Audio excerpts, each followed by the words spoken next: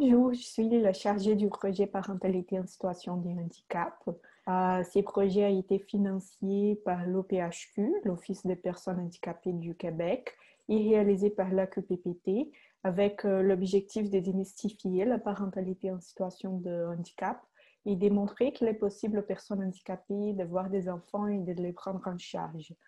Alors, ces projets, ils comprenaient deux volets. Le premier a été la réalisation d'un guide adressé aux parents et aux futurs parents en situation de handicap.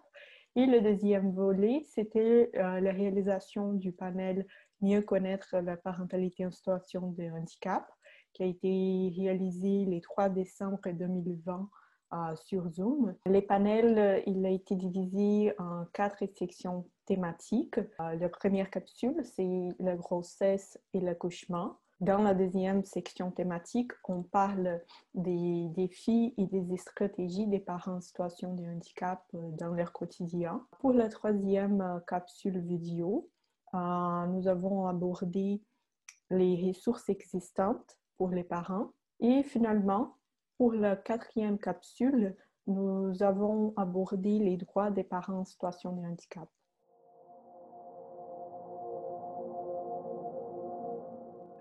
Juste pour, vous euh, parler un peu du projet, il a été financé par l'OPHQ, l'Office des personnes handicapées du Québec, et réalisé par la QPPT euh, avec l'objectif euh, de démystifier la parentalité en situation de handicap et ainsi démontrer qu'il est possible aux personnes handicapées d'avoir des enfants et de les prendre en charge. Euh, le projet, il, avait, il comprenait deux volets.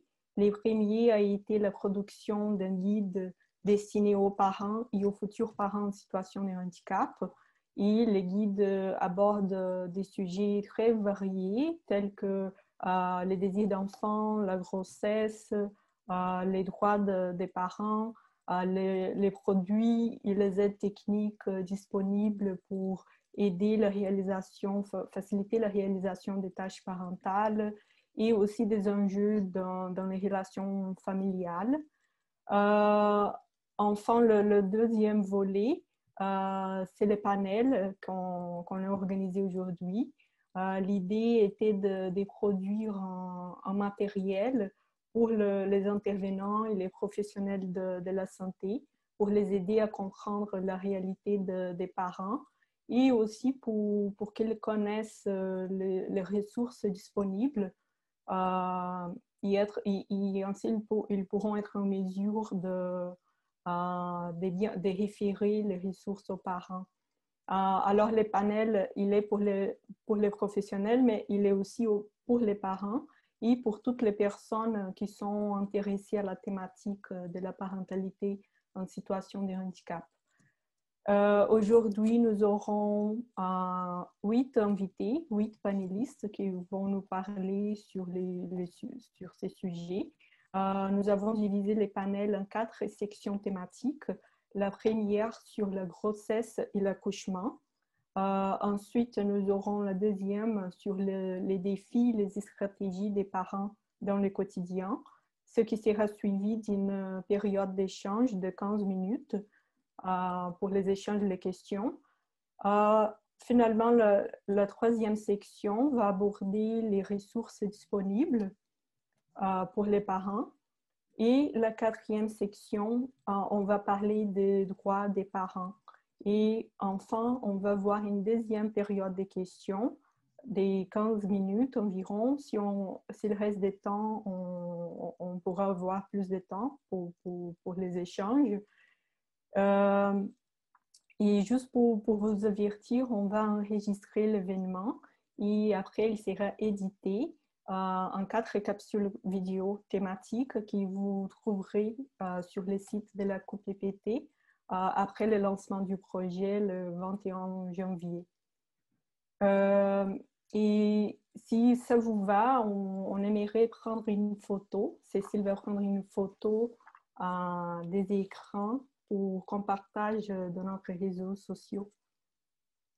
On, les prend maintenant Oui, bah, en fait, euh, je pense que j'ai pas besoin de la faire. Je viens de penser à ça parce que comme on enregistre, je vais pouvoir faire une capture d'écran de la vidéo quand je l'aurai. Ça nous évitera de perdre du temps tout de suite. Ah, ok, parfait. Parfait. Alors, on peut commencer. Euh, j'espère que vous allez apprécier les présentations aujourd'hui.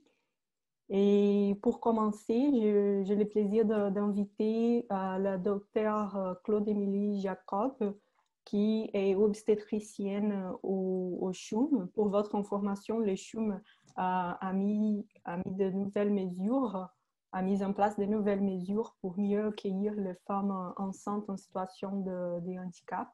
Alors, je donne la parole à la docteure Jacob. Alors, bonjour tout le monde. Ça me fait plaisir d'être avec vous ce soir. Est-ce que je suis juste capable de partager mon écran, Alina? C'est ça que je vais essayer de faire. Euh,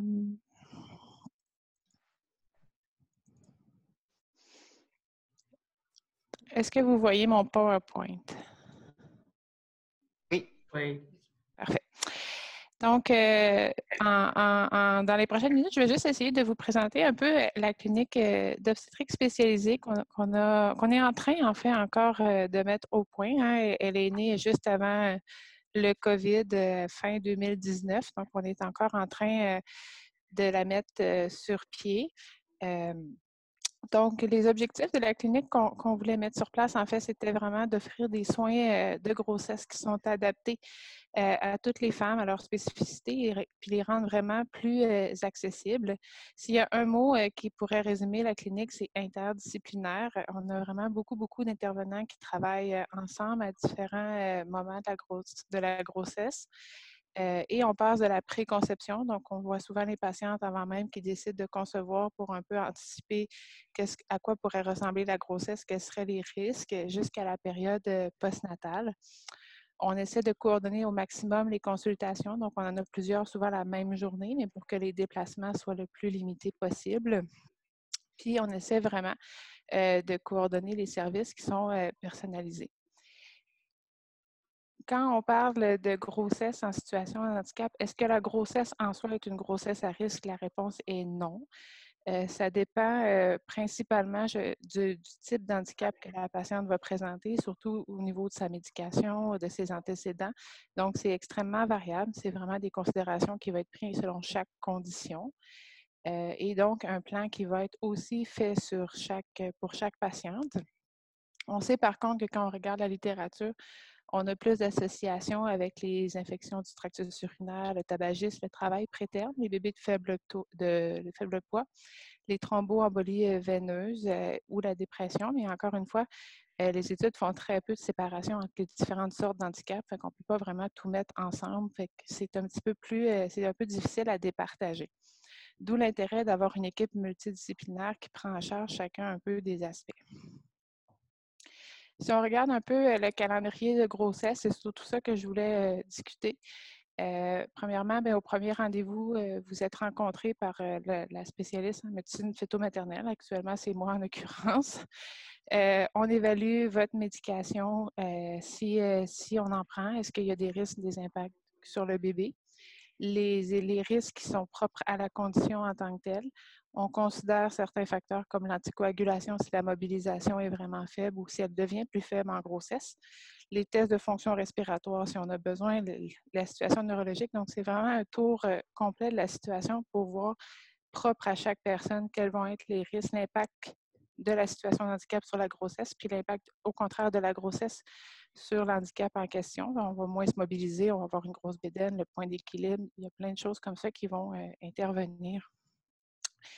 Euh, à 16 semaines, on coordonne aussi euh, des, des, rencontres avec le service social. je crois que Audrey est une des panélistes après moi, donc je ne vais pas entrer dans les détails. la médecine interne obstétricale qui nous aide à gérer parfois l'anticoagulation, les, certaines maladies qui sont en, en, lien, la clinique de la douleur si on a besoin. Donc, c'est vraiment le, rôle de la médecine fœtomaternelle ici devient vraiment un rôle un peu de chef d'orchestre parmi comme tous les intervenants qui vont, euh, qui vont participer. À 20 semaines, on a instauré la consultation avec une infirmière euh, clinicienne en soins spécialisés qui coordonne vraiment toutes les rencontres, tous les spécialistes, s'assure que tous les consultants ont été, euh, impliqués, que les rendez-vous ont eu lieu pour s'assurer qu'on ne perd personne en, cours de route. Et elle planifie beaucoup aussi les rencontres qui sont multidisciplinaires. Récemment, on a intégré la physiothérapeute pour euh, un programme d'exercice puis de suivi dès la 20e semaine pour essayer d'éviter les pertes euh, au niveau de la motricité en lien juste avec les problèmes de grossesse. Et on fait aussi le lien avec Parents Plus pour s'assurer que euh, le matériel puis que le lien va se faire avec, avec l'organisme pour être sûr que tout est prêt pour, pour l'accouchement. À 28 semaines, on rajoute la consultation avec les pédiatres si, euh, besoin, si on a un risque euh, en lien avec le bébé. La consultation en allaitement pour nous aider avec le positionnement, avec qu'est-ce qui s'en vient, est-ce qu'on peut allaiter, réviser les médicaments, les techniques? Et euh, l'anesthésie obstétricale qui s'assure qu'au niveau de l'analgésie, au niveau du, de l'accouchement, est-ce qu'on a des risques ou des précautions particulières à prendre?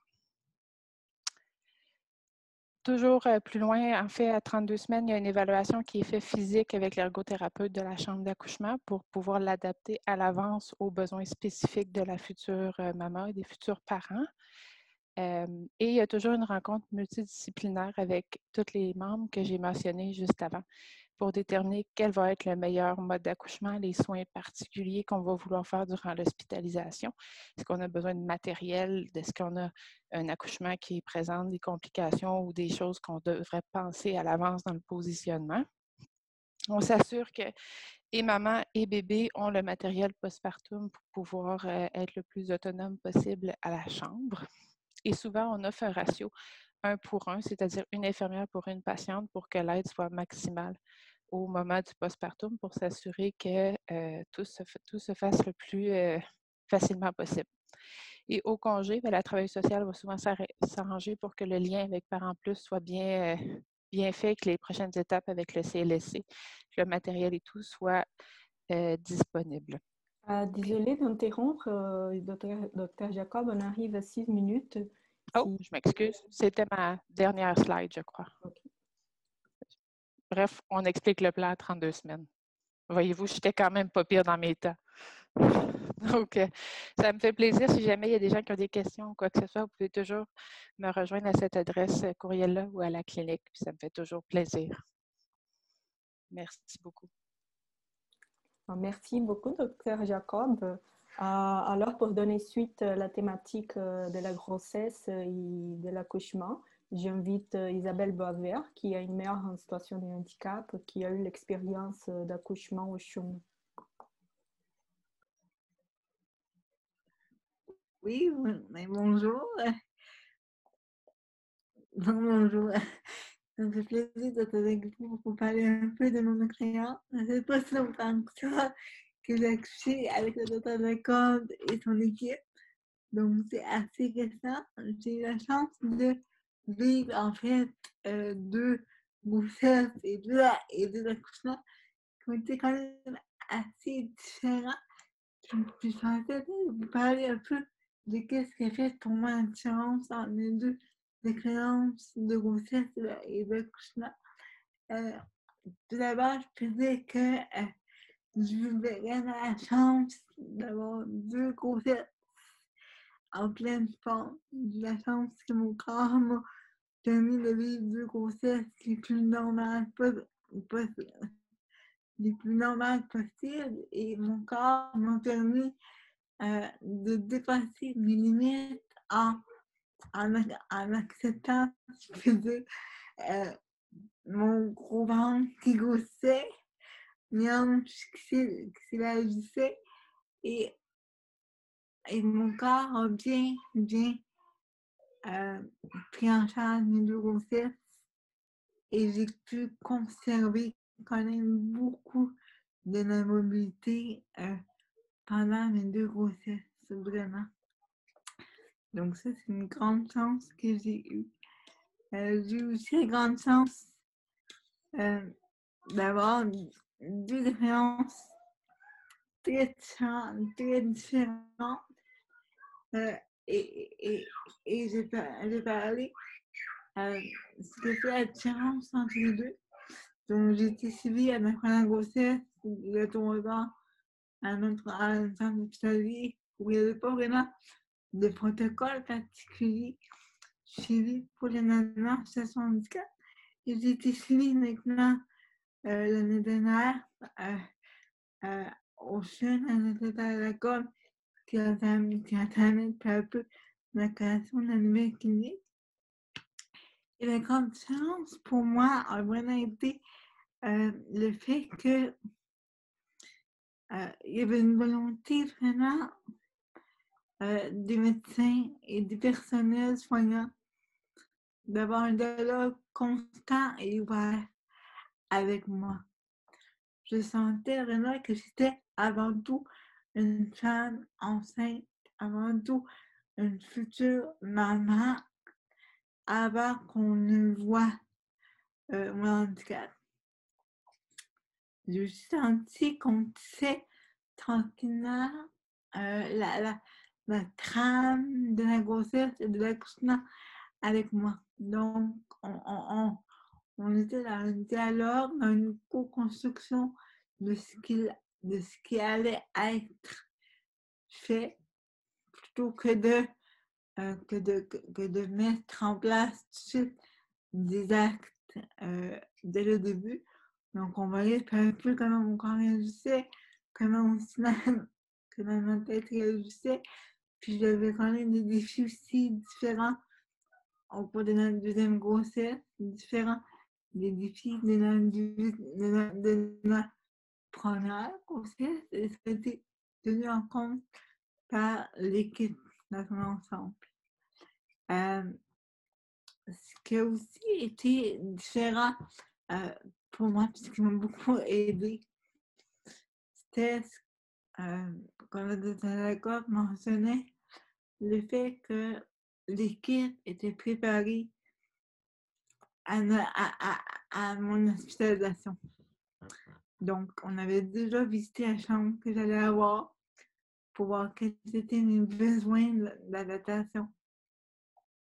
Et l'équipe, en premier bien sûr, les spécialistes comme anesthésiste ou les spécialistes en allaitement, mais aussi l'équipe de soins comme telle sur le plancher, était au courant que j'avais l'handicap, était au courant que je venais accoucher, était les déposés et les qu'on connaissaient peut-être pas chacune, chacun, euh, tous les défis, tous les besoins reliés à mon handicap en détail, mais ils savaient au moins qui j'étais. Donc, je n'avais pas le poids de toujours mentionner que j'ai un handicap, que je ne peux pas me mobiliser comme les autres mamans, que je ne peux pas euh, marcher comme les autres mamans, pour la salle de bain. Donc, c'est un poids de moins pour moi.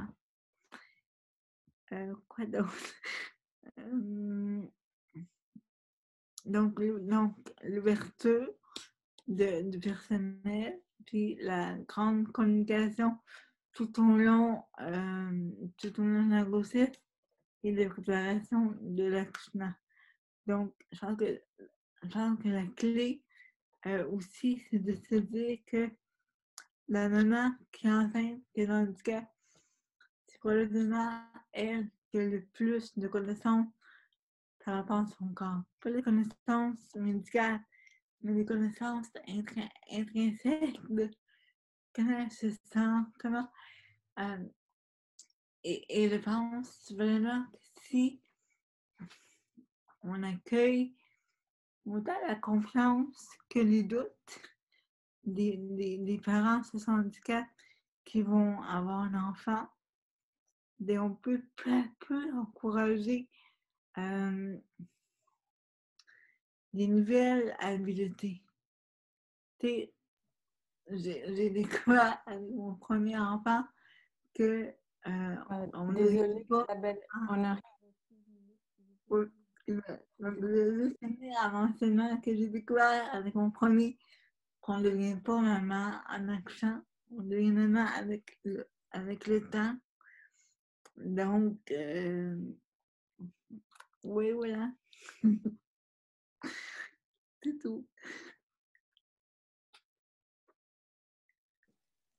Merci.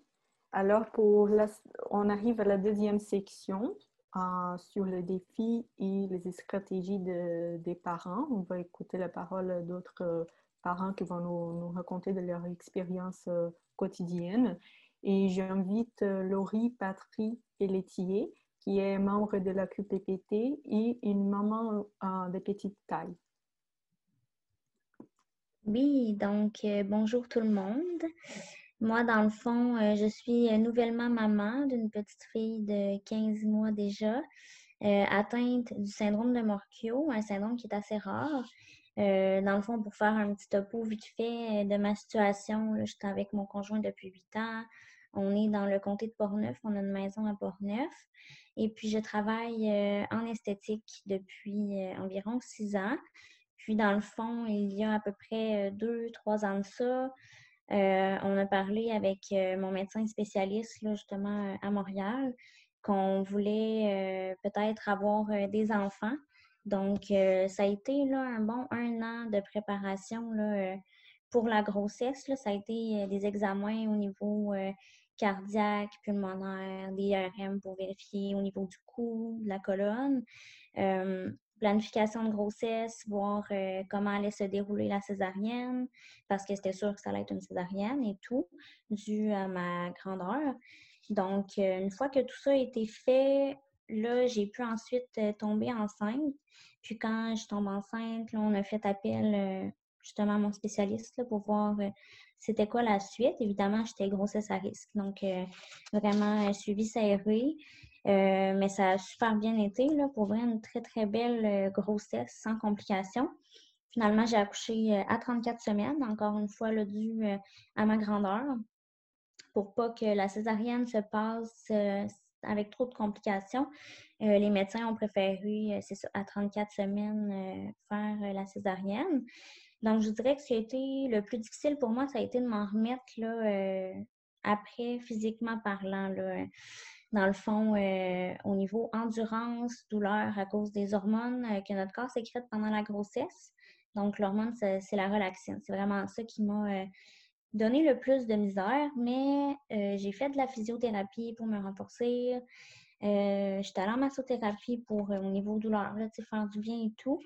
Puis, j'ai fait affaire aussi avec Parents Plus, dans le fond, qui offre des services là, de, de prêt aux parents en situation de handicap donc, ils m'ont beaucoup aidé. Là. Moi, j'ai utilisé beaucoup un tabouret, un simple tabouret avec des roulettes là, pour me déplacer dans la maison. Je faisais mes tâches quotidiennes, plier mon linge, passer la balieuse, assis sur mon tabouret. Donc, c'était plus facile pour moi que de marcher que d'être debout. Euh, sinon, aussi, ce qui m'a aidé beaucoup, ça a été le Moïse. Dans le fond, le Moïse qui nous prête est sur roue. Donc, je pouvais déplacer mon bébé dans la maison à l'aide du Moïse et non dans mes bras. Donc, je la déposais là-dedans. C'était super sécuritaire. Je faisais rouler le Moïse. Euh, mes défis au quotidien, ça a été beaucoup au niveau, je vous dirais plus au niveau des équipements. Euh, Exemple, la coquille. une fois, la coquille, c'est assez lourd, mais une fois que le bébé est dedans, c'est très lourd. Donc, c'était impossible pour moi de prendre Estelle dans la coquille puis de la mettre dans l'auto. Donc, euh, je laissais simplement la coquille dans l'auto, je prenais mon bébé directement. Fait que mes petits déplacements du point A au point B, ben, je le faisais avec Estelle dans les bras, je la déposais dans l'auto. Euh, sinon, ça a été de trouver une poussette. Fait que ça, c'est important de bien magasiner la bonne poussette. Euh, moi, ce qui m'a vraiment été conseillé, c'est une poussette avec les poignets ajustables, dans le fond, pour ne pas être tout le temps les bras dans les airs. Fait que ça, c'est le fun parce qu'il y en a quand même plusieurs sur le marché. Mais euh, toutes les poussettes sont quand même assez lourdes. Donc, j'ai pas été capable d'en trouver une vraiment là, que je suis capable de plier puis de rentrer et sortir dans mon auto quand je suis toute seule. Fait que notre alternative, ça a été très simple. Ça a été une poussette euh, parapluie. Fait que ça, c'est très, très, c'est vraiment pas lourd. Euh, fait que quand je suis toute seule là, pour des rendez-vous ou des petites commissions vite fait, euh, c'est ce que j'utilise. Fait que poussette parapluie, je fais mes petits transferts là, euh, avec Estelle. Sinon, chez les autres, c'est important d'en prendre une qui est ajustable. Donc, selon notre hauteur, on l'ajuste, puis c'est plus facile d'embarquer notre bébé dedans. Sinon, je vous dirais table de change. C'est sûr que tout ce qui est de table de change standard, c'est très haut. Donc, moi, je n'étais pas capable de, de dire mettre mon bébé c'était beaucoup trop. Fait qu'on a magasiné au niveau meuble. Dans le fond, c'est vraiment un meuble euh, qui fait du rangement en même temps, qui est à ma hauteur parfaite. Donc, ça a été, euh, c'est vraiment ça, c'est de magasiner les bonnes choses pour nous, prendre le temps de faire ça avant que bébé arrive. Euh, puis, dernière chose que je dirais, ça a été mon dernier point, trouver un porte-bébé. dans le fond, très, très utile dans mon cas, les premiers mois d'Estelle. Mais les porte-bébés, en général, sont beaucoup trop longs pour moi. J'ai vraiment un petit tronc. Donc, euh, par en plus, encore là, m'ont prêté un chandail de portage. Fait que ça, ils prennent vraiment tes mesures. Fait que c'est selon ta grandeur, dans le fond. Tu mets le chandail de portage, puis tu mets ton bébé là-dedans directement. C'est sûr que ça fait pour un petit bout de temps parce que c'est jusqu'à un certain poids de ton bébé. Mais moi, dans mon cas, ça a été euh, magique. Ça a vraiment été merveilleux, ce chandail-là. Parce que sinon, toutes les autres euh, porte-bébés que j'ai essayés étaient moyennement satisfaisants pour mon cas à moi. Euh, mais sinon, j'aimerais ça finir en vous disant, dans le fond, la clé pour moi, ça a été vraiment de ne pas me gêner de demander de l'aide, de ne pas me gêner d'accepter l'aide que les gens m'offraient, que ce soit pour la bouffe, le ménage, euh, que ce soit pour ton bébé. Dans le fond, ça, ça a vraiment été, c'est d'être bien entouré, c'est pour vrai, ça fait toute la différence. Là. Euh, puis sinon, ce que j'ai découvert avec Estelle, c'est que notre bébé s'adapte vraiment à nous. C'est fou, là, tu sais, elle va pas avoir les mêmes agissements avec moi qu'avec son père qui mesure six pieds, qu'avec euh, ses grands-parents. Tu sais, elle a vraiment, je vous dirais, une attitude différente. Elle le sent, que, je sais pas, elle sent vraiment que, que, que j'ai des euh, besoins autres. Fait que c'est vraiment un travail d'équipe qu'on fait ensemble, moi et Estelle. Là, elle est rendue à 15 mois. Fait que, exemple, qu'elle veut que je la prenne, ben, elle va vraiment se lever debout, elle va vraiment tendre les bras. Fait que moi, il me juste à faire le transfert. Sinon, tu sais, que ça soit au niveau du bain, au niveau de plein de choses, tu sais, que ça soit de sortir de la maison maintenant qu'elle marche, ben, elle va vraiment comme marcher jusqu'à l'auto. Ah, il va juste me rester à la transférer. Le bain, euh, euh. c'est pareil, c'est vraiment une question de de travail d'équipe et d'adaptation. Donc, euh, c'est mon histoire. Merci de votre écoute. Merci, Laurie. Merci pour ta présentation. Désolée d'interrompre. Euh, on arrive enfin à, la fin de cette deuxième euh, section thématique avec la présentation de Simon April qui va nous parler de son expérience en tant que père en situation de handicap. Euh, bonjour tout le monde, je m'appelle Simon April. Je suis un des. Ben oui, je suis un papa. Là. Il y a beaucoup de mamans ici, mais oui, je vais faire différent un peu. Je suis un papa. Donc, euh, notre situation est un peu différente. Euh, aussi, je pense que notre situation est un peu unique à chacun. moi, j'ai une maladie qui s'appelle l'ostéogenèse imparfaite. Donc, c'est les os fragiles. c'est une maladie génétique. Donc, la première option envisager. Puis ma copine, euh, juste pour euh, faire du pouce là-dessus, euh, ce n'est pas une personne handicapée, donc et elle est infirmière, donc elle connaît le système de la santé. je suis un enfant aussi des Shriners. Je ne sais pas si les gens connaissent les Shriners, mais j'ai été beaucoup épaulé là, concernant ça. quand on a su que j'allais avoir un enfant, tous les projets de recherche m'ont sauté dessus pour savoir qu'est-ce qui allait se passer. Euh, je me suis senti un peu comme un cobaye, mais c'est la vie. Euh, j'ai dit oui à certains et non à certains. Donc, euh, pour commencer, la première chose qu'on voulait, c'était que notre enfant ait le minimum de pourcentage d'avoir mon handicap, parce que c'est un handicap récessif, et non dominant. Donc, la différence, pour faire un, un résumé, là, donc récessif, il faut que ma conjointe ou mon le conjoint euh, ait le même maladie que, ou le même défaut génétique. Donc, ce qui n'était pas le cas, ma blonde est, immigrante. Donc, euh, le défaut génétique que j'avais, qui était sectoriel au Québec, euh, n'était pas dans son cas. Donc, ce qui éliminait beaucoup de, de, pourcentage que mon enfant ait la même maladie. Par contre, il sera porteur toute sa vie. Mais euh, en même temps, il le sait, donc, vu en, le sachant, il va pouvoir euh, faire les mêmes analyses que moi. Euh, donc, pour commencer, c'est ça. ma copine est tombée enceinte.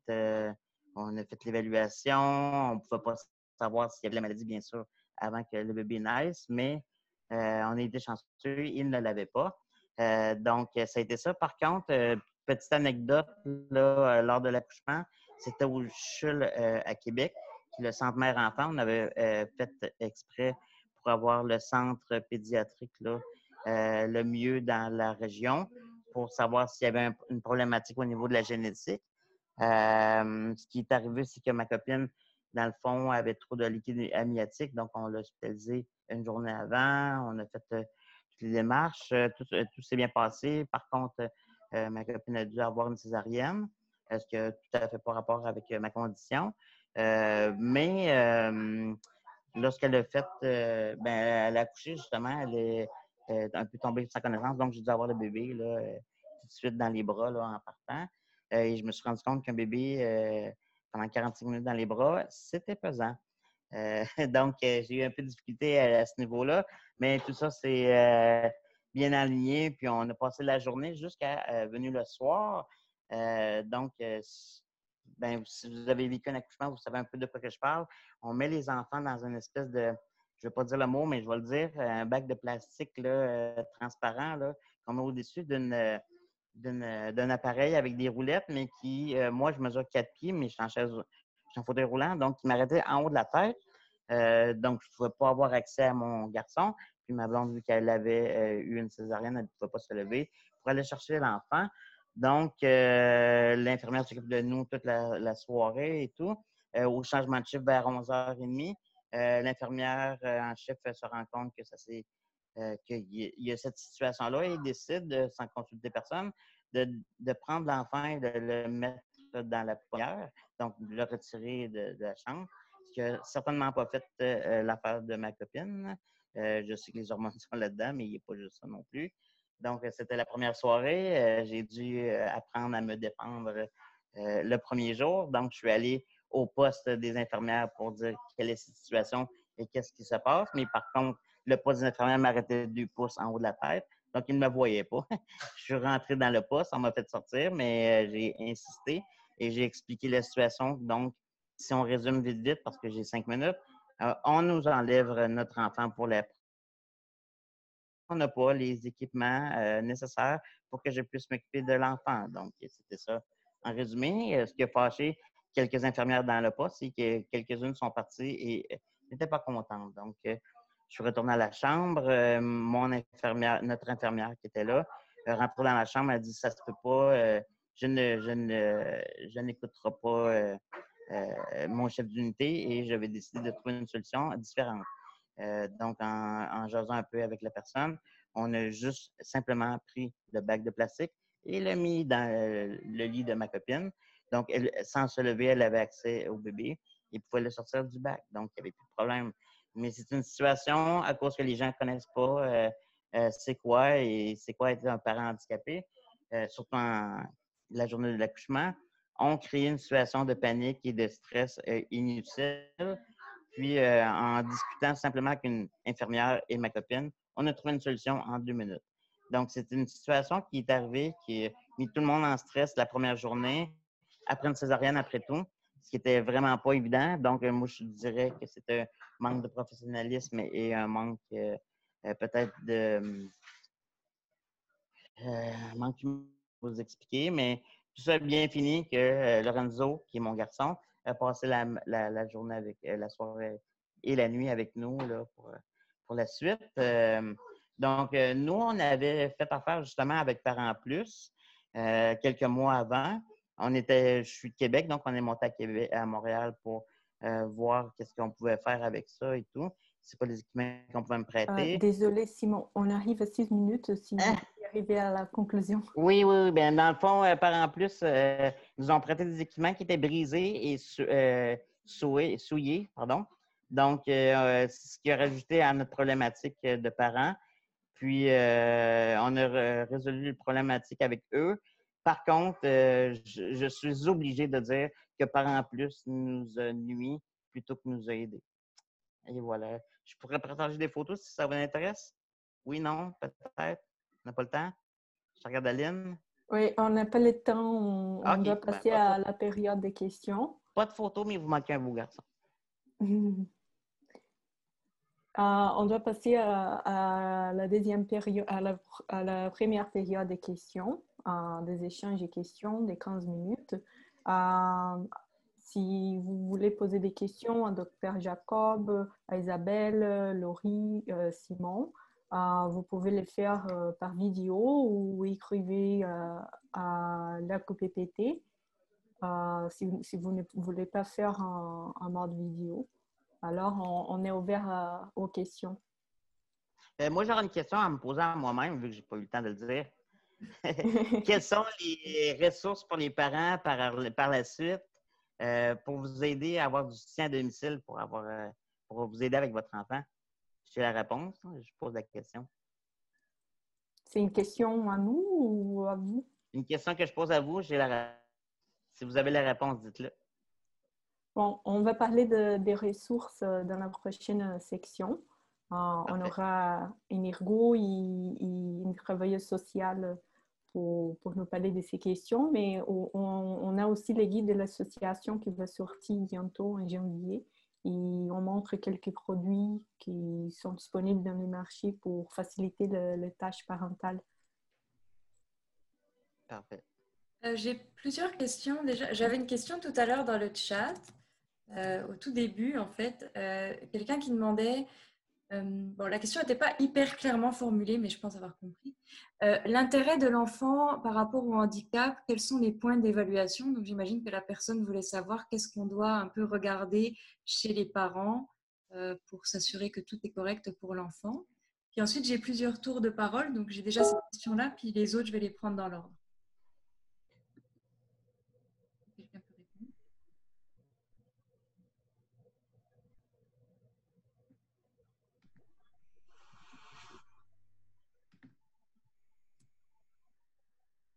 Est-ce que quelqu'un peut répondre à la question Peut-être euh, docteur Jacob, pour les points d'évaluation euh, pour euh, les, parents, par exemple, en situation de handicap?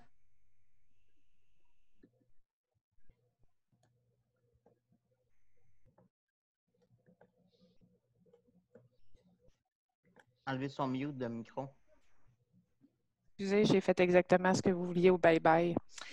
Euh, je, peux juste euh, parler du, point de vue médical de la grossesse. Je pense qu'au niveau, euh, si je comprends bien la, question, je pense que ça va être plus avec le panel, avec la travailleuse sociale qui, va intéresser la réponse à cette question-là. Du côté médical, c'est sûr qu'on prend en considération le, le côté, c'est quoi les limitations un peu comme comme Simon euh, parlait, puis on essaie de voir qu'est-ce que ces limitations-là vont impliquer.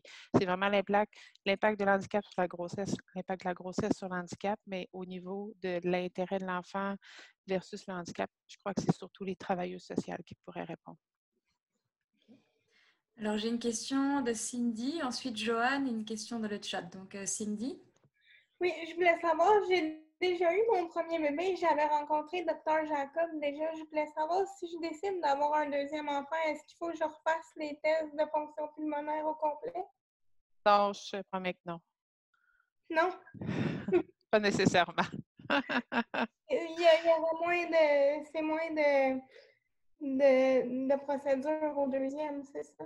Oui, ben on a déjà, quand on a déjà évalué, à moins qu'il y ait des nouveautés, en général, on se fie un petit peu à la situation d'avant. C'est bon, puis merci d'avoir dit oui. De rien. Alors ensuite, j'avais Joanne qui avait une question. Euh, oui, ben, on, parle beaucoup de, des hôpitaux à, euh, Montréal.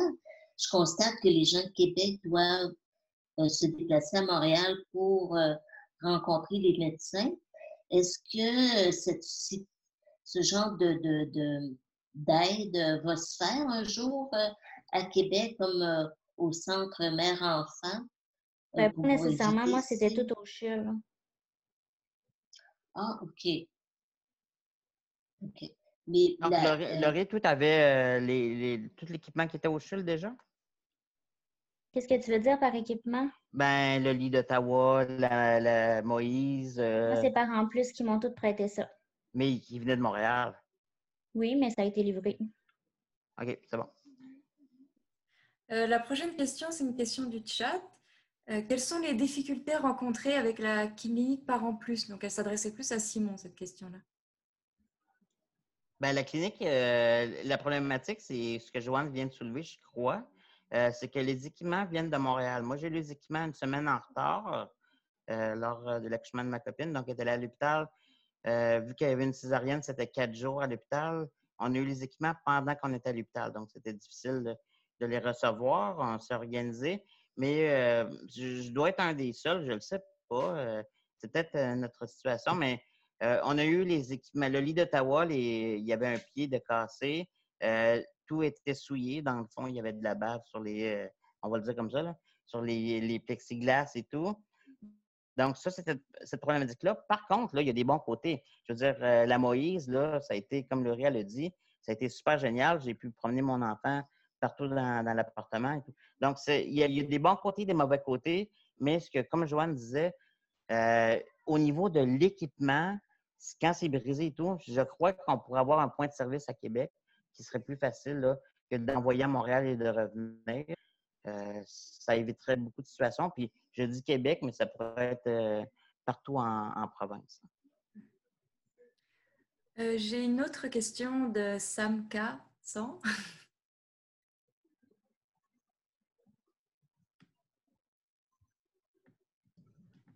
Oui, alors, euh, euh, deux choses. Euh, moi, je suis l'ergothérapeute de la clinique Parents Plus. la première question qui a été posée par Pierre Daniel, peut-être qu'on pourra, je pourrais répondre un peu plus tard à la question. puis pour ce qui est de M. April, ce qu'il a dit, ben, peut-être aussi je pourrais avoir certaines réponses, mais entre autres, c'est que le, problème de transport est quelque chose euh, qu'on est conscient qui est, une difficulté. On essaie d'améliorer. Euh, c'est un point qu'on travaille très, très fort. Et euh, ben, la propreté aussi, là, c'est, quelque chose qu'on a bien noté et qu'on fait, rigoureusement attention. On, est conscient que c'est pas, pas souhaitable que ça arrive. Mais le transport des équipements, vous faites bien de le souligner, c'est quelque chose qui est, qui est comme pas évident on veut euh, desservir tout le Québec et que les équipements arrivent en, bon état. Puis votre point de soulever d'avoir des équipements dans d'autres points de service au Québec, on y a longuement réfléchi aussi. On essaie de trouver une solution pour que ce soit éventuellement possible. Ça fait partie de nos, euh, trucs sur lesquels on planche, mais on n'a pas encore de solution concrète, sauf qu'on est consciente que c'est qu'on est aussi une petite équipe pour le moment. mais votre, vos points sont intéressants, on les a bien entendus. J'ai une autre euh, question dans le chat. Euh, je suis présentement enceinte et j'ai un rendez-vous chez ma gynécologue le 5 janvier. Est-ce que je dois être référée au CHUM ou je peux appeler directement? Question assez précise. Non, euh, vous pouvez appeler directement ou m'envoyer un courriel à l'adresse que je, vous ai envoyée tout à l'heure. On n'est pas obligé nécessairement d'avoir une, une, référence pour la clinique en question. Ça nous fait plaisir. Moi, j'ai plus de questions.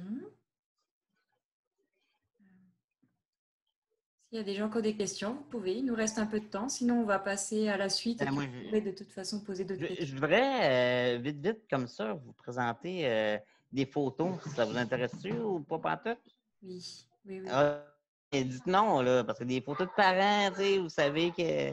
Non, OK. Ben, regarde, je vais, je vais essayer de le faire, si ça vous intéresse. Vous me direz. Euh, il, reste du temps pour la période de questions, donc il n'y a pas de problème pour les photos. Vas-y. Ah, OK, c'est bon, parfait. Je ne sais pas si vous voyez. Oui. OK. Donc, euh, c'est un peu ça, les chambres qu'on a. Au moins, on avait des chambres individuelles au CHUL. Ça, c'était super bien. Là. On pouvait. On avait un bon service là, à ce niveau-là. Donc, euh, c'est pas mal ça. Dans, ça, ça c'est, un produit là, justement que euh, Parents Plus n'a pas, que c'est ma cousine qui m'a prêté. Mais j'invite Parents Plus à se procurer euh, un appareil comme ça. Je ne sais pas c'est quoi le nom. Là. Sûrement qu'il y a bien des mamans qui le savent. C'est un truc que tu peux mettre le pied et euh, ça berce un peu. Là. Ça, ça a été vraiment génial. Ça, c'est un truc de Parents Plus ici qui était. Ben, tu sais, nous, on est une, personne handicapée sur deux. je ne sais pas si les autres, c'est quand comment. J'ai vu des, couples qui étaient des personnes handicapées. Ça, ça, ça serait plus difficile, mais à ce niveau-là, là, euh, pour une personne handicapée et non une personne handicapée, ça va super bien. Euh, donc, cet euh, appareil-là, justement, là, il l'a utilisé très longtemps. Donc, ça a été euh, super pratique. Et là, vous voyez l'évolution de, la grandeur. Et, maintenant, on est rendu sur ce- cet été. Puis maintenant, il est rendu presque plus grand que moi. Donc, voilà. Je ne vous partage plus de photos. et voilà. Bah, Peut-être on peut passer à la suite, Aline. Et puis, de toute façon, si d'autres personnes ont des questions, il y a une autre période de questions à la fin. Donc, vous pourrez vous exprimer. Bon, tu peux-tu désactiver? Merci. Exactement. Oui, si on n'a plus de questions, je pense qu'on peut passer à la section suivante. Mhm. Euh, alors, on arrive euh, à la troisième question. On peut donner suite à la discussion euh, avec euh, l'ergothérapeute euh, des parents plus, Cathy Sanson, que vous avez déjà euh, connue. Je vous invite donc, Cathy, à prendre la parole. Oui, alors bonsoir tout le monde, bienvenue à la clinique Parents Plus. Je me trouve actuellement dans notre local d'évaluation de la clinique qui est au centre de réadaptation Lucie Bruno, qui lui fait partie euh, du CIUS du Centre-Sud de Montréal. Alors, euh, la clinique existe depuis 1997, donc ça fait 23 ans que euh, les services se donnent avec au départ très peu de familles, puis maintenant près de plus de 900 familles qui ont été desservies depuis. C'est une clinique qui est unique au Québec et même au Canada. La clinique a le mandat de desservir tout le Québec et donc on travaille beaucoup en télésanté en collaboration avec des intervenants un peu partout dans les CLSC, les différentes régions du Québec. C'est un service euh, gouvernemental qui se donne à parents plus, donc c'est gratuit. Euh, et euh, les services admissibles, euh, les personnes admissibles à la clinique sont des parents ou des futurs parents qui vivent avec une déficience physique. Euh, une fois que le dossier est ouvert à la clinique, on offre des services pour les 0-2 ans du bébé. Aujourd'hui, euh, la clinique est composée de cinq ergothérapeutes, d'un mécanicien et d'une agente administrative. Euh, les objectifs de la clinique sont euh, en particulier de permettre des soins aux bébés qui sont donnés de façon autonome par le parent, mais surtout de façon sécuritaire pour le bébé. C'est nos deux objectifs principaux. Et les soins qu'on évalue, qu'on regarde chez les parents qui viennent nous voir, c'est bon, de nourrir le bébé, de lui donner le bain, de euh, faire les changements de couche, l'habillage, se déplacer avec bébé, le sommeil du bébé et le jeu. Donc, c'est les, euh, soins les activités qu'on euh, évalue. Euh, les, recommandations qui sont faites euh, par les ergothérapeutes, ça peut passer par des conseils, des trucs, des nouvelles façons de faire, mais aussi par des équipements qu'on peut euh, recommander.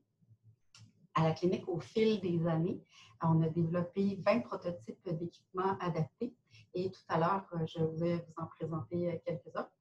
Euh, ces équipements-là, une fois qu'ils sont recommandés, sont financés par le gouvernement, y compris la SAC et la CSS CNESST qui peuvent aussi financer.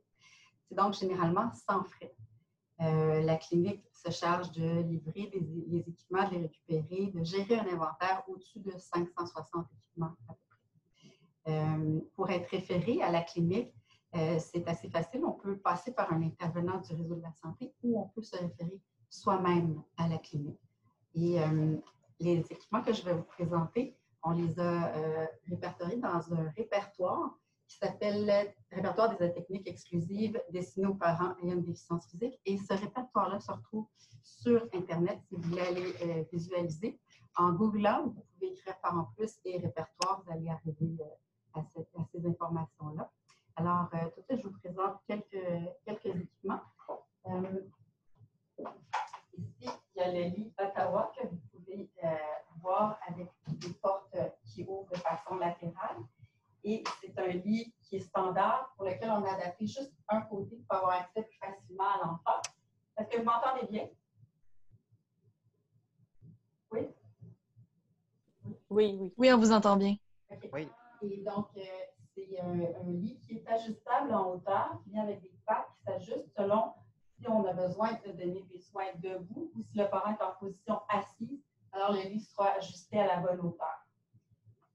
On a aussi euh, le parc adapté qui est un parc qui euh, vient marché immobilier, mais pour lequel on a fait une adaptation en faisant poser une fenêtre éclair latérale et en position assise. Je prends un tabouret, ça peut être une chaise, on peut de façon euh, latérale, on peut avoir accès au bébé et euh, c'est sécuritaire.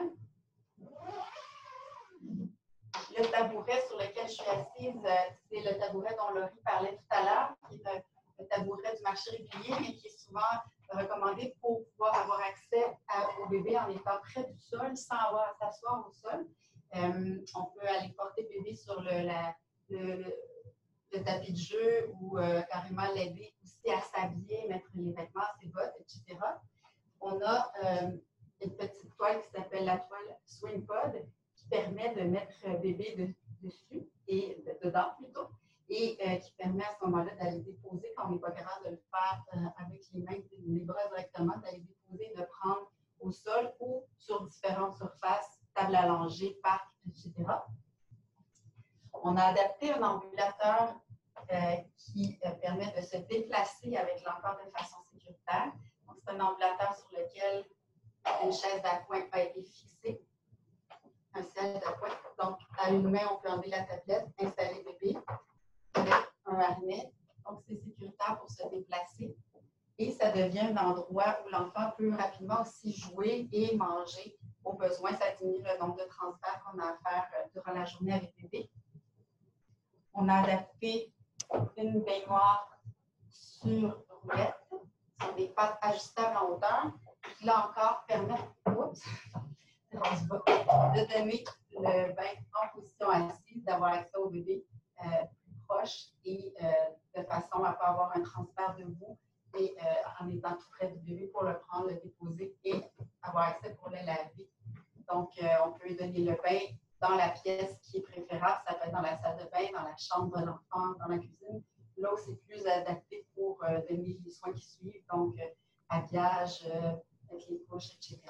Donc, c'est quelques équipements parmi d'autres que. Ah, il y a aussi ah, désolée, Cathy, on arrive à six minutes. Parfait. Sac de taille pour mettre bébé dessus.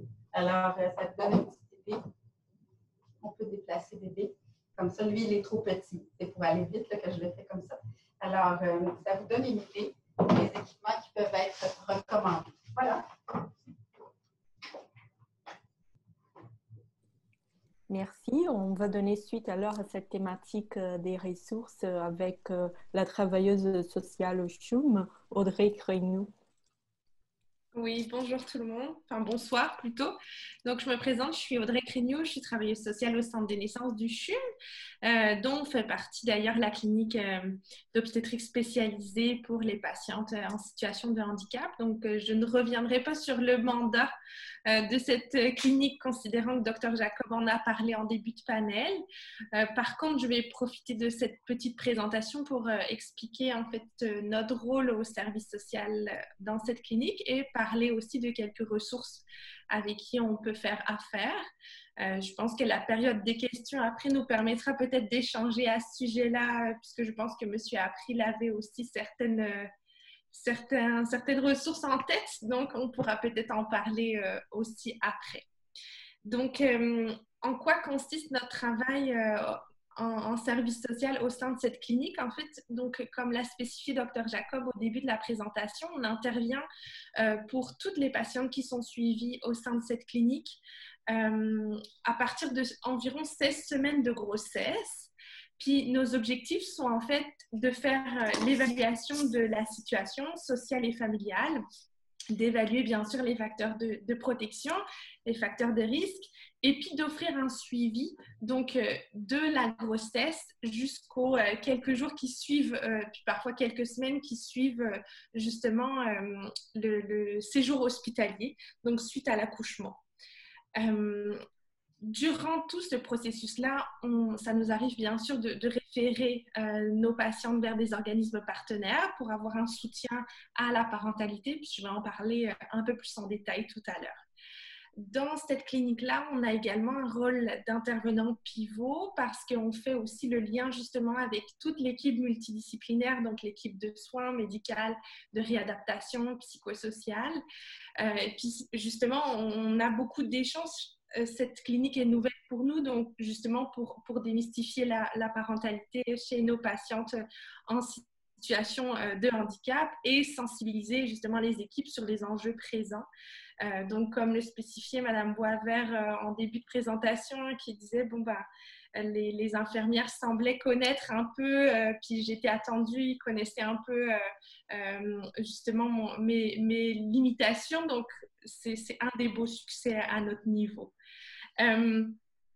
Aussi, justement, quand on a des patientes qui ont justement des, limitations physiques, euh, ces limitations peuvent justement venir altérer comme les capacités fonctionnelles. Donc, un de nos objectifs dans cette clinique, c'est justement d'explorer les stratégies que les parents vont mettre en place pour justement assurer la sécurité et le développement du nourrisson. Puis ça peut être grâce à un réseau social, un réseau familial, euh, au soutien des professionnels ou encore à l'équipement comme, euh, comme Cathy Sanson de la clinique Parents Plus euh, nous a montré tout à l'heure. Donc, en, réalité, on veut qu'un filet de sécurité soit assuré pour le nourrisson. Puis, puis on a le souci d'offrir justement les meilleurs soins, les meilleures conditions pour, pour les patientes et leurs familles. Donc, on travaille beaucoup avec euh, l'équipe d'ergothérapeutes de Parents Plus, qui est un de nos partenaires privilégiés pour cette clinique. Puis, on travaille également euh, au niveau professionnel avec les équipes de soutien à domicile, notamment des CLSC. Euh, après, ce qu'il faut savoir, c'est qu'on peut offrir en fait aux patientes qui sont suivies par cette clinique spécialisée les mêmes références que pour tous les futurs parents, puis ce, dépendamment des critères d'admissibilité des différents programmes. Donc, euh, on pourrait référer euh, les parents euh, à différents programmes, par exemple du CLSC, comme le programme HOLO pendant la grossesse pour un suivi nutritionnel, le programme SIP pour les parents d'enfants de 0 à 5 ans pour justement optimiser leur développement, mais également certains services de relevail ou de répit dans leur secteur, les maisons de la famille, les services de soutien à l'allaitement, si jamais euh, les, patientes jugent que ça peut être pertinent. Préma Québec, si jamais ce sont des, bébés qui naissent prématurément, ou euh, certains organismes de la communauté comme Première Ressource qui offrent aux familles du Québec euh, des consultations gratuites et confidentielles par téléphone sur tout ce qui touche l'éducation et la relation parent-enfant, ou encore Premier Pas, c'est un service de bénévoles qui offre un soutien gratuit par rapport à la parentalité. Donc, on travaille aussi parfois avec la protection de la jeunesse quand on a des situations où il y a des besoins supplémentaires en matière de protection de l'enfance. Euh, on peut aussi référer les parents euh, au protocole de santé Canada, par exemple. Euh, je ne sais pas si vous connaissez là, le protocole Votre santé, votre enfant est-il en sécurité? et puis, comme bon, dépendamment des secteurs euh, des, patientes, justement, regarder si jamais il y a d'autres organismes spécialisés en périnatalité qui pourraient être pertinents pour eux. Maintenant, ce qu'il faut savoir, c'est que là, j'ai parlé de quelques ressources au niveau professionnel. Maintenant, euh, ben, en fait, parfois, les patientes ont aussi un, bon réseau social, un bon réseau familial qui peuvent leur offrir une aide significative, donc sur laquelle euh, elles peuvent compter. Donc, notre travail consiste justement à évaluer tout, tout, ça pour optimiser les conditions euh, d'arrivée du nourrisson et faciliter le retour à la maison.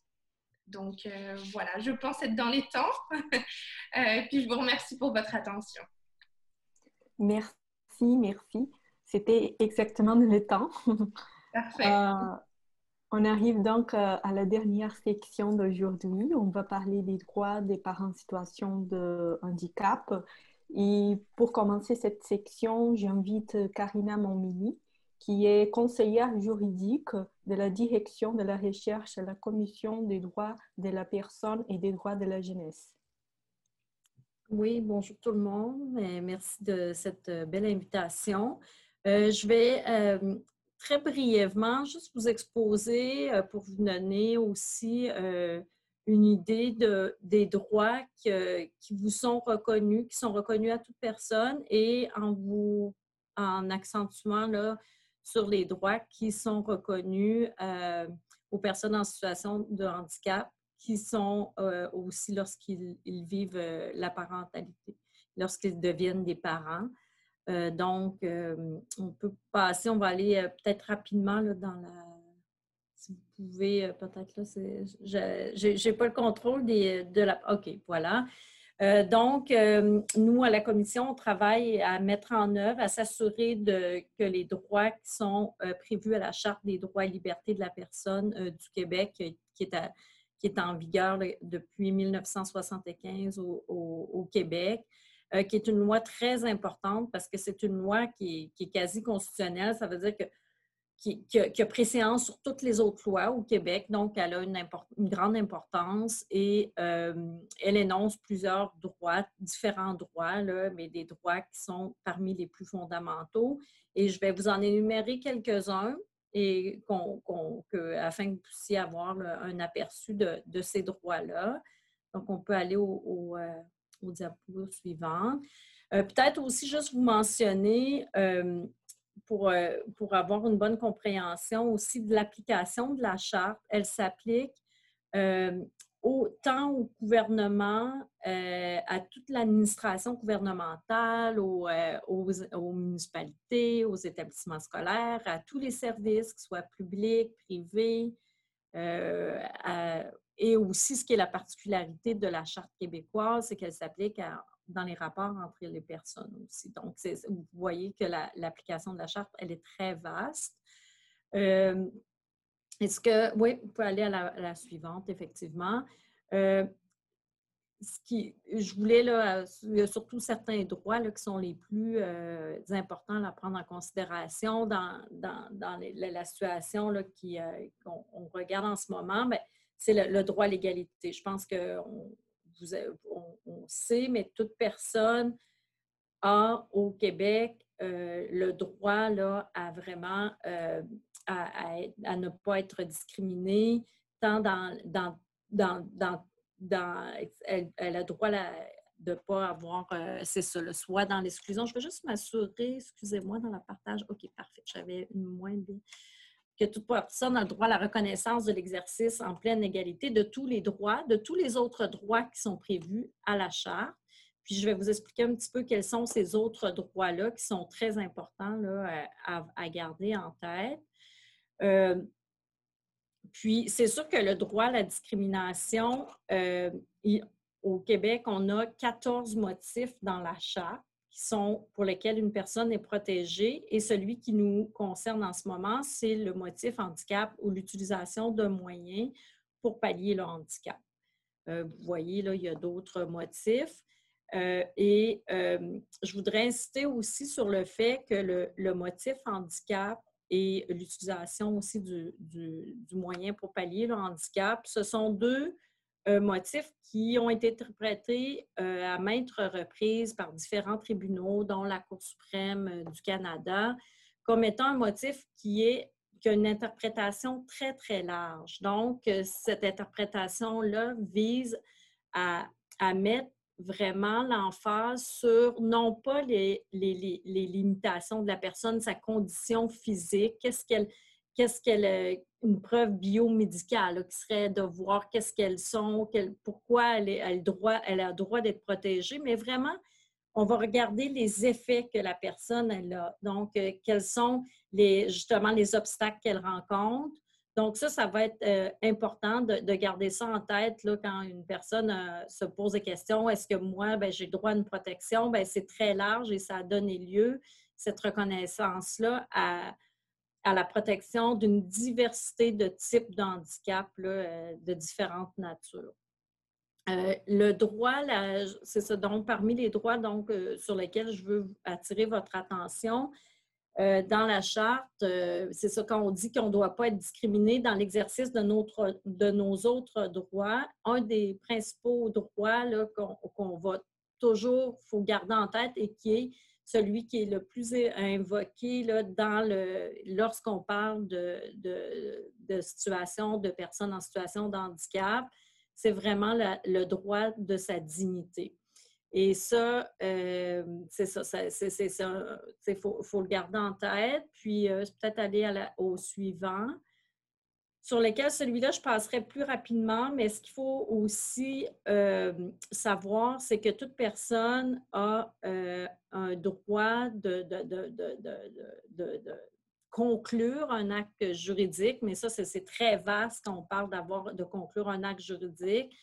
Euh, ça peut être différents types de contrats, pas seulement de, louer, de faire un bail de location, mais ça veut dire de faire un achat, c'est déjà un acte juridique. Donc, toute, personne en situation de handicap a droit d'avoir les mêmes services que ceux ordinairement offerts au public. Euh, je voulais attirer aussi votre attention sur l'article 39 de la Charte qui dit que tout enfant a le droit à la protection, à la sécurité et à l'attention que ses parents ou toute personne qui en tienne mieux peuvent lui donner. Donc, c'est aussi le pendant aussi de l'importance pour euh, l'enfant. Il y a les droits des parents, mais le droit de l'enfant aussi d'avoir droit à l'attention de ses parents et la suivante, c'est aussi dans la charte qu'il y a toute l'importance de la reconnaissance de ce qu'on, en tout cas, c'est des termes très juridiques, je vous dirais aussi là, la direction morale de la famille, mais c'est une reconnaissance que ce sont les, les conjoints, qui soient unis par mariage ou union civile, qui ont les mêmes droits, mais qui ont les responsabilités aussi, qu'ils assurent ensemble la direction morale et la, matérielle de la famille et l'éducation de leur enfant. Donc, cette reconnaissance-là du droit des parents, elle est inscrite dans la charte qu'on retrouve dans notre Code civil du Québec, mais ça, c'est important que ça se retrouve dans la charte. Et j'irais d'aller, euh, je voulais aussi, mais très brièvement, vous dire que... Désolée, Corinne. Oui, hein, c'est ça, c'est On arrive à six minutes, oui. Bon, peut-être qu'en tout cas, dans la, juste pour conclure, vous dire qu'il y a aussi internationalement la Convention relative aux droits, de euh, aux droits des personnes handicapées, la Convention relative aux droits de l'enfant. Ce sont des, des, conventions aussi qui reconnaissent l'importance du rôle des parents qui sont en situation de handicap et qui euh, ont reconnu aussi les défis auxquels ils, euh, les défis qu'ils rencontrent, mais aussi euh, l'obligation, ils ont, ces, outils-là, ils contiennent des obligations pour l'État de se doter de moyens, puis d'aide pour aussi de soutien pour les parents. Donc, Donc, nous, à la commission, c'est souvent ce qu'on va faire valoir dans différents types de travaux on ramène les obligations de l'État, dont le Québec aussi est signataire, où il va souvent adhérer à ces conventions-là.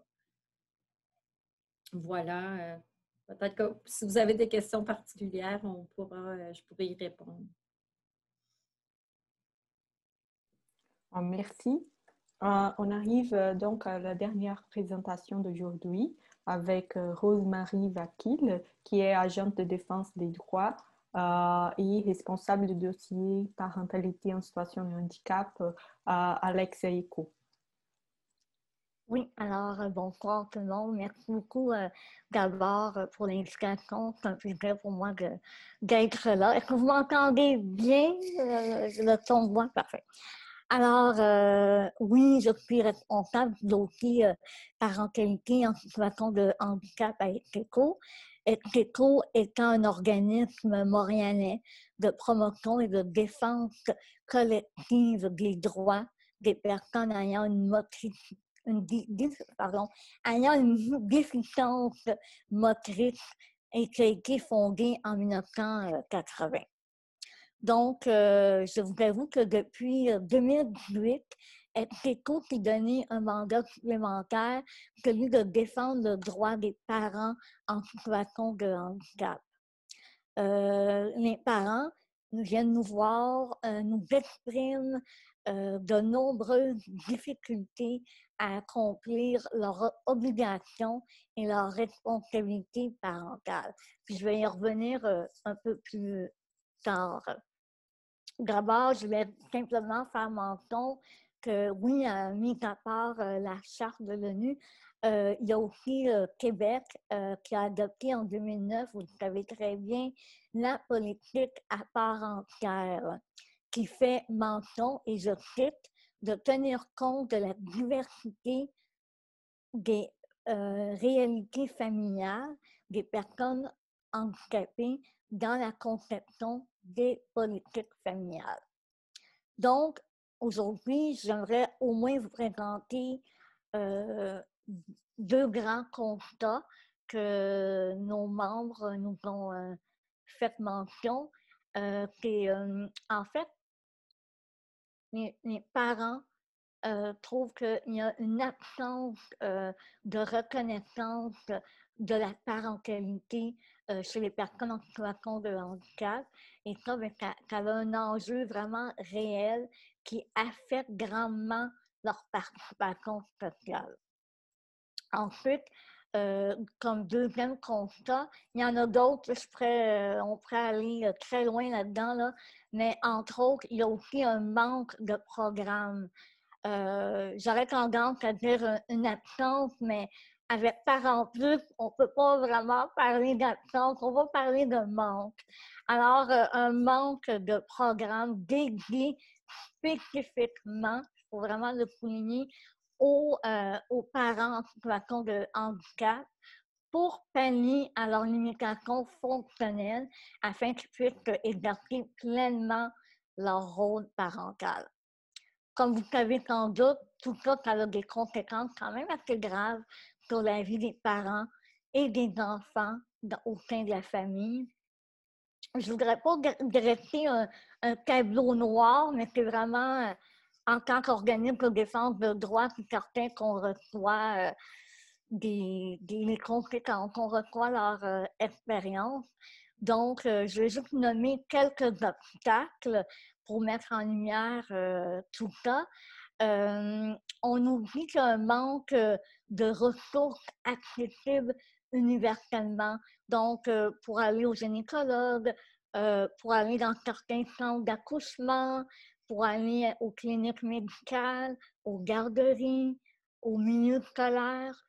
Euh, d'ailleurs, le milieu, le milieu scolaire, ben, il y a encore de nombreuses écoles euh, et même euh, des garderies qui sont malheureusement pas accessibles aux personnes en fauteuil roulant ou aux personnes à mobilité réduite. Comment faire pour amener son enfant à la garderie si on est en fauteuil roulant, qui justement c'est un autre obstacle, l'inaccessibilité des transports en commun ou adaptés. Je vais juste prendre un, exemple, un parent qui a un enfant qui a un enfant, un, parent en situation de handicap, qui a un enfant qui doit l'amener à la garderie, à la clinique, qui utilise le transport adapté, à ce moment-là, le parent, en plus d'être en fauteuil roulant, euh, doit amener son enfant, doit amener sa coquille, la coquille, doit amener le siège d'enfant. Bon, vous, êtes parent, vous savez ce que vous devez apporter, mais en plus, l'enfant, en plus, bon, le parent doit euh, installer le siège lui-même dans l'auto, dans le véhicule de transport, doit installer également euh, son enfant dans le siège d'auto, et ça sans l'aide du chauffeur, du transport adapté, parce qu'il ne peut pas le faire. Il n'a pas le droit. Le, dans le transport adapté, c'est clair qu'il n'a pas le droit de porter assistance. Donc, on sait très bien que ça peut causer vraiment un grand obstacle. Euh, ensuite de ça, ben, on parlait tout à l'heure du soutien à domicile. Euh, je suis quand même euh, assez surprise parce que moi, qu'est-ce que j'entends? c'est que euh, pour le soutien à domicile, pour aider les parents en situation de handicap, mais la plupart des parents se voient leur demande refusée parce que ce service de soutien domicile-là, à la base, il est conçu pour donner uniquement des soins à la personne, à sa personne elle-même, et non de donner un soin à, à une personne à charge mineure. Alors, ça devient très complexe à ce niveau-là. Je connais que quelques exceptions qui l'ont eu, mais en grande partie, il n'y a pas de soutien domicile pour les parents de handicap. Également, ben, malheureusement. Euh, Rosemary, désolée, si vous pouvez arriver à la conclusion oh bientôt. On a six minutes. OK, je vais essayer de, raconter. Mais en fait, le manque de soutien domicile peut engendrer des signalements de négligence à la négligence parentale à la, DPJ. il y a un fardeau qui repose sur le parent qui n'a pas d'handicap. Il y a une tension, il, peut y avoir euh, des tensions, des conflits au sein de la famille parce que tout repose sur le, parent qui n'a pas d'handicap. Alors, il euh, ne faudrait pas oublier un dernier obstacle, celui de le manque de le manque de logement accessible pouvant inclure deux adultes en situation de handicap et un ou plusieurs enfants. Donc, pour terminer, euh, oui, euh, la personne ne devrait jamais être pénalisée du seul fait d'être en situation de handicap. C'est le rôle de l'État d'intervenir pour mettre en place des politiques publiques afin de garantir l'inclusion et l'équité pour les parents en situation de handicap. Parce que c'est une réalité grandissante chez les personnes en situation de handicap de devenir parents. Voilà. Merci. On aura donc maintenant une deuxième période de questions. On a à peu près 15 minutes. Si vous avez des questions, vous pouvez euh, élever la main ou euh, écrire par chat. J'aurais une question. Oui, vas-y, Simon. Ben, dans le fond, c'est ce que je voulais dire depuis tantôt. Euh, puis, euh, juste en guillemets, tantôt, euh, par en plus, là, c'est un bon service. C'est pas. Ce qui m'est arrivé peut être juste pour moi, c'est pas pour tout le monde. Ce qui serait plus pratique, c'est ce qui arrivait de quoi en région. c'est bon. pour répondre à Rosemary, concernant les politiques de soutien parental pour les personnes handicapées, euh, ben, comme j'ai écrit dans le chat, là, justement, il y a euh, le chèque emploi service, donc le CES, qui offre des heures de soutien à domicile. Parce que moi, au début, j'ai demandé des heures de gardiennage, on m'a les a refusées. Par contre, c'est juste une question de logistique. Donc, euh, quand on demande des heures de soutien à domicile, comme je l'écris dans le chat, on peut aller jusqu'à 25 heures par deux semaines. Donc, moi, ma copine est infirmière, une fin de semaine sur deux travaille.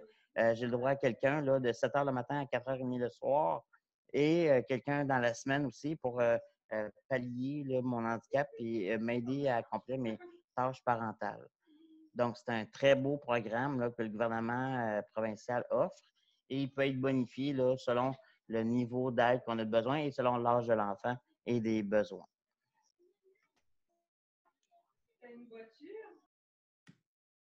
Merci. Vois pas d'autres questions, mais ne soyez pas timide, allez-y.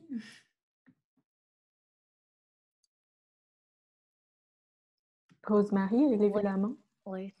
Ben, en fait, euh, bon, en principe, le soutien domicile, que ce soit à travers le chèque emploi de service ou toute autre euh, modalité, en principe, euh, moi, que les parents me disent qu'ils se voient refuser euh, le soutien domicile pour la parentalité, mais il y a quelques exceptions près. Je connais peut-être, bon, vous êtes la quatrième personne que je connais à travers le Québec, mais ben, euh, donc, ça, c'est vraiment, actuellement, c'est vraiment pour donner des soins à sa personne ou une personne mineure. Oui, ben, ça, c'est des soins, comme vous dites. Oui, mais une, personne mineure, mais peut-être qui en situation Donc, les parents qui ont un enfant handicapé vont recevoir de l'aide, mais un parent en situation de handicap qui veut recevoir de l'aide pour son rôle parental, habituellement, c'est refusé.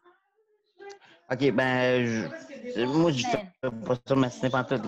Ben, dans le fond, je travaille pour l'organisme CAPVI, puis on fait, on est partenaire avec Execo, puis on est l'équivalent d'Execo à Québec. Ben, présentement, depuis les deux dernières années, euh, le soutien à domicile, moi, les gens m'ont appelé parce que j'avais ça.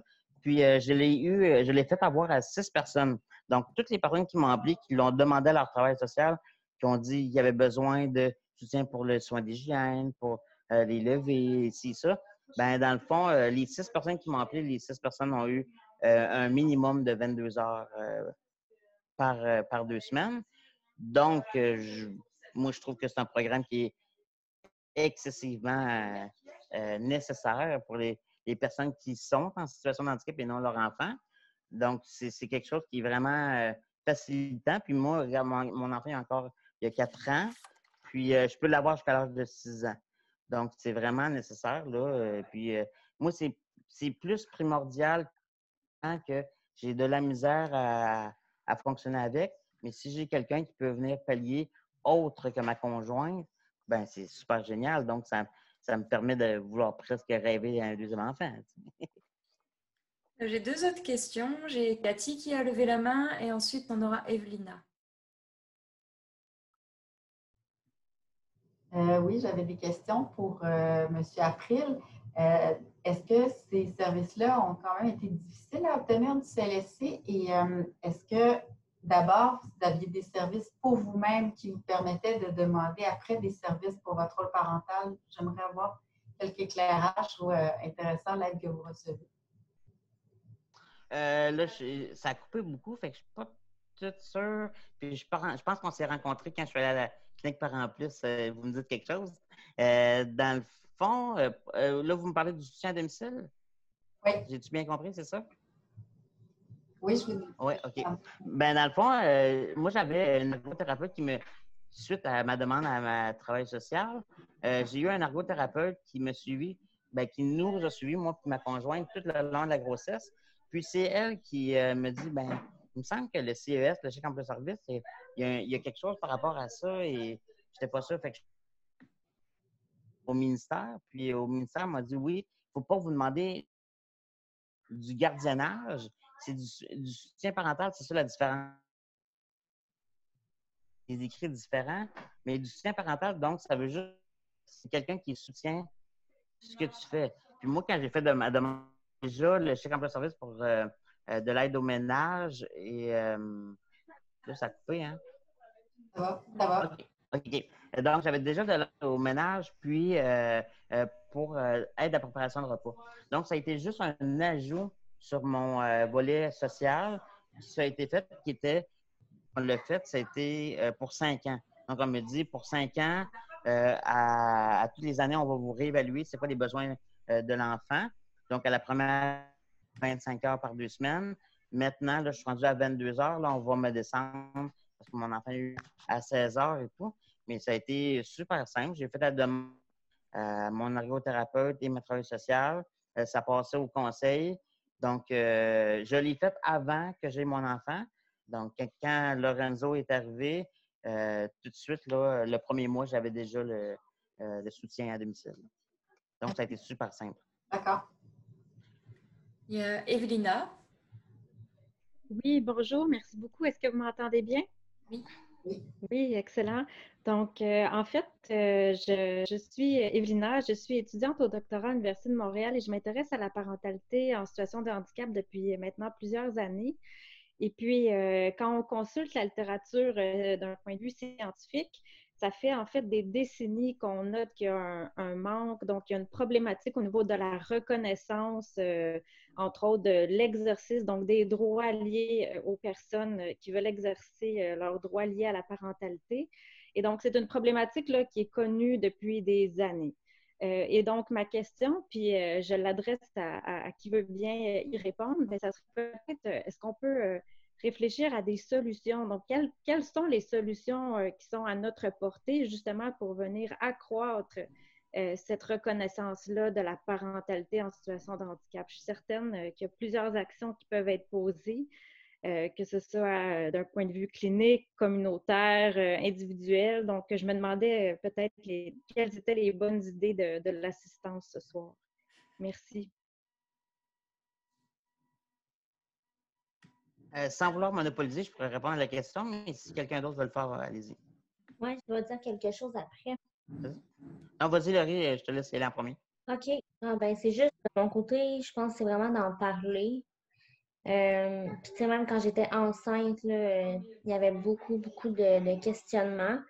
Mais euh, c'est ça, c'est d'en parler, d'amener ça positivement, d'être bien informé. Puis aussi, justement, le fait que c'était c'était très rare de voir une personne avec le morchio euh, enceinte. Ma grossesse a été beaucoup documentée. J'ai participé à des études que les médecins me demandaient au fur et à mesure. Fait que j'ai fait toutes sortes de, de petits tests. Fait que c'est sûr que ça, ça va aider au niveau euh, des, des- de la documentation. là. Euh, En tout cas, j'ose espérer. Là. Mais ça serait ça mon point de vue. Là, vraiment enceinte, euh, je m'étais ouverte à parler aux gens, de peu importe les questions qu'il y avait, je répondais. Puis c'est ça, j'amenais ça d'une manière positive. Puis aussi de venir, euh, tu sais, d'avoir confiance en soi, là, puis de, tu sais que tu es capable, puis ouais, ce serait pas mal ça euh, que j'aurais à dire. Merci Laurie. tout est possible. oui, c'est ça. Je voulais juste ajouter, euh, Laurie, ben, tu as raison. Euh, tout ce qui est positif, c'est, l'art de la guerre dans tout, là, pas juste dans la parentalité. moi, par contre, moi, je, suis une personne handicapée, puis mon frère aussi. Et j'ai trouvé euh, que mes parents qui avaient des enfants handicapés étaient beaucoup moins soutenus que moi, qui est une personne handicapée, qui a un enfant.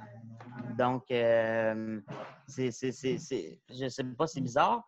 C'est sûr que moi, je suis né en, dans années 80, puis mon garçon, il est né dans les années 2017-2015, 2017, euh, pardon.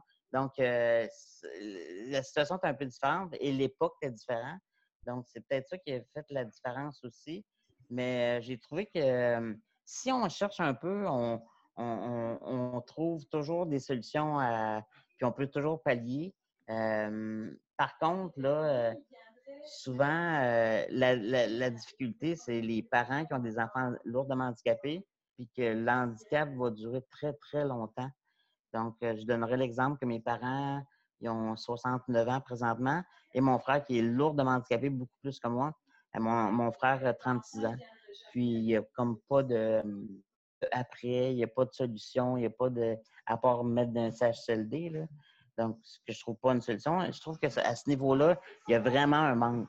Mais au niveau de, la parentalité, oui, je ne suis pas une femme, je suis un homme et donc je suis un père. Et euh, on ne m'a pas suivi au niveau euh, pourrait suivre avec l'accouchement. Donc, c'est ce discours-là que moi, je n'ai pas. Là, Peut-être euh, je pourrais ajouter aussi pour euh, répondre à la question d'Evelina, euh, en, tant que coordinatrice là, de la QPPT. Nous, les organismes communautaires, puis Execo aussi travaillent sur cette question-là. On a un rôle à jouer pour sensibiliser la population à la parentalité en situation de handicap. C'est pour ça qu'on a créé ce projet, en fait. Ça venait vraiment de ce vide-là euh, à part Parents Plus, à part quelques spécialistes. On est très heureux d'avoir le CHUM qui est là, qui, représente, qui montre que ça bouge aussi dans les hôpitaux, des travailleurs sociaux, etc. Mais c'est vrai que c'est très compliqué. Donc, on a vraiment un rôle à jouer en tant qu'organisme. Et euh, je suis contente que Rosemary soit là parce qu'eux aussi, ils travaillent sur la parentalité. En fait, juste pour faire pour que, que tu as enlevé mes mots de ma bouche, effectivement, euh, plus d'organismes qui en parlent, plus de chercheurs qui s'intéressent au sujet, plus de parents qui deviennent, euh, de personnes qui deviennent parents, plus qu'on est, plus qu'on a, euh, on a plus de visibilité. Alors, je pense que c'est important de continuer, euh, de continuer à se faire voir et de demander, de pas, de pas comme je crois que c'est Laurie qui l'a dit tout à l'heure, de ne pas te gêner de demander nos, pour répondre à nos, aux besoins des parents. Alors que vraiment, l'important, c'est vraiment de, demander, d'aller toujours plus haut. Si on n'a pas une réponse qui nous satisfait, mais d'aller plus haut, plus loin, c'est important.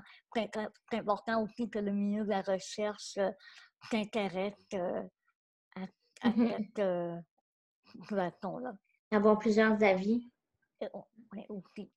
Moi, ce qui m'a aidé aussi, c'est vraiment d'être préparé. Je trouve ça important d'être préparé avant. Comme ça, pas de surprise, euh, moins de danger de complications. Tous les spécialistes sont là pour toi, sont déjà euh, au courant de ta situation. Dans mon cas, ça a vraiment été ça la clé du succès pour avoir une aussi belle grossesse qu'un aussi beau accouchement. Tu sais, Laurie, euh, en tant que personne handicapée, tu dois, savoir un peu toute ta vie, tu as dû planifier toute ta vie. Tout ce que tu faisais. Ben, toute ta vie, tu as dû planifier un peu ce que tu faisais. Tu sais, sortir de chez vous, aller à une place, tu fait que dans le ensemble, tu sais, quand tu arrives au niveau d'être parent, ben là, tu sais, dans le fond, tu sais que tu vas être obligé de te planifier parce que tu n'as pas eu le droit toute ta vie d'improviser. Donc, c'est un peu ça aussi.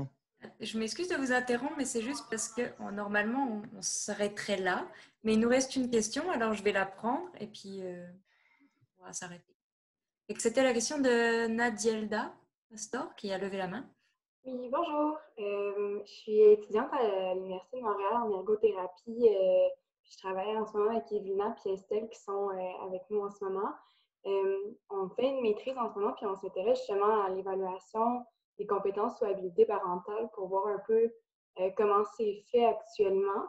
Euh, puis, on est dans le stade embryonnaire, là, fait qu'on n'a comme pas de conclusion, mais je voudrais juste savoir votre avis pour les parents euh, qui vous êtes en situation de handicap. Comme, comment est-ce que vous aimeriez qu'on vous évalue ou comme qu'est-ce que vous aimeriez qu'on fasse attention quand on vous évalue juste pour pas nécessairement que vous soyez lésés dans, dans, les évaluations qui sont faites?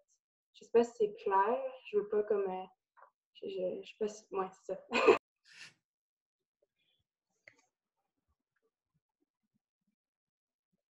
dans le sens pour que vos besoins soient comme reconnus euh, de façon comme euh, juste, mais en même temps qu'ils ne soient pas comme trop, trop durs ou comme que ça porte atteinte justement à, à vos droits. Comme qu'est-ce que vous pensez? C'est quoi l'approche qui, serait, qui serait préférée?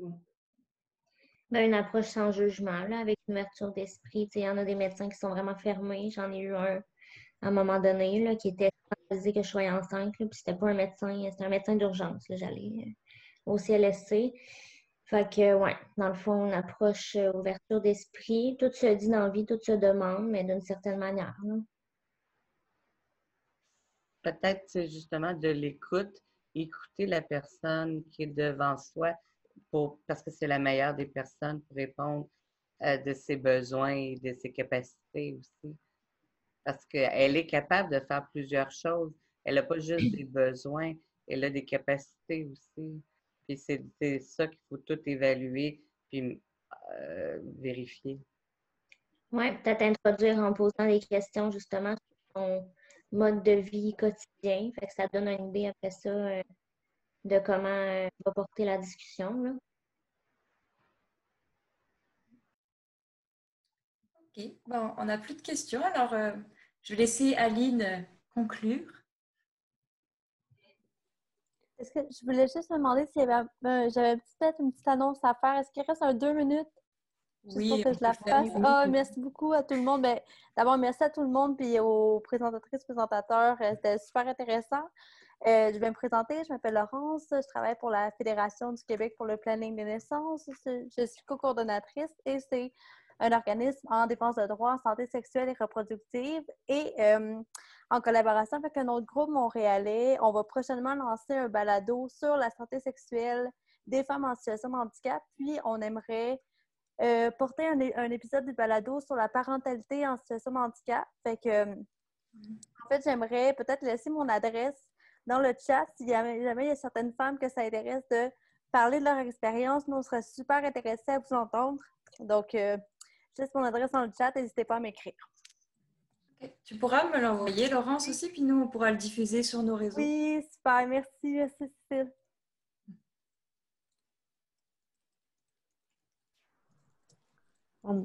S'il n'y a plus de questions, je pense qu'on arrive à la fin.